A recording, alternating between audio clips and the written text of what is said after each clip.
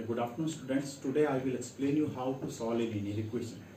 First of all, I will tell you that what is a linear equation. A linear equation is an equation which contain only one variable and whose highest power is 1. Here this is a linear equation in one variable. Here the variable is x and its highest power is 1. Now I will explain you how to solve a linear equation. So there are some rules to solve a linear equation. First is that if we add same number to both the side of the equation, the equation will remain unchanged and we can solve the equation. Second is we can subtract same number from both the side of an equation. To solve an equation, the equation will remain unchanged.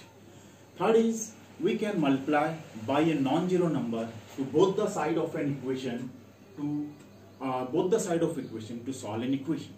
Now fourth one is we can divide by a non-zero number to both the side of an equation to solve an equation. So these are the four steps in which you can solve the uh, a linear equation one variable. Now one more method is there to solve a linear equation. That is transposition rule. What is the transposition rule? In transposition rule, we transpose a term from one side to another side, its sign will be changed. Here, if we transpose a negative term from LHS to RHS, its sign will be changed. That is, that means minus to plus, it will become plus and plus to minus. Now I will uh, give uh, some examples that how we can apply this rule to solve the equation. Now look here. Uh, first, uh, I, I will take one equation. The first, solve. Okay, now I will solve an equation. x minus 2 is equal to 4. This is a linear equation in one variable. Here, the variable is x.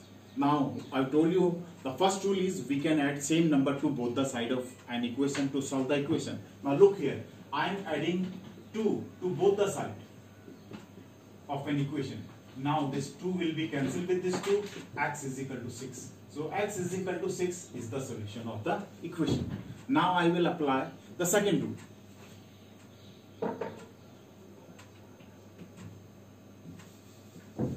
x plus 2 is equal to 4.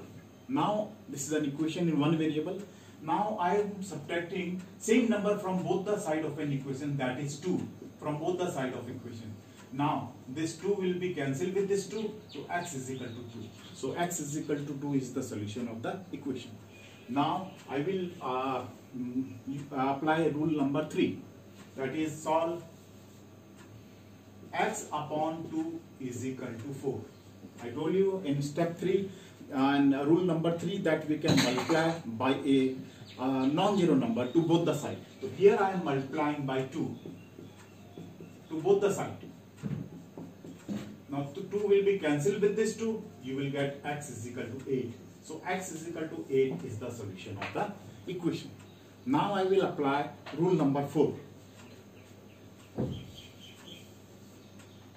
Solve 2x is equal to 4.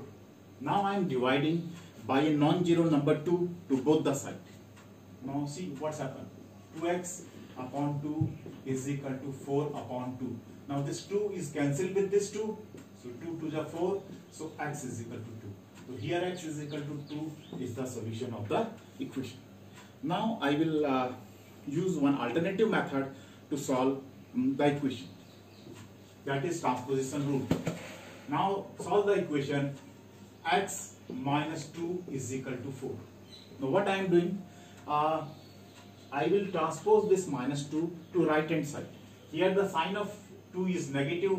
When 2 is transposed to right hand side, its sign will become plus. So x is equal to 6. So in this way, we can use transposition rule to solve an equation.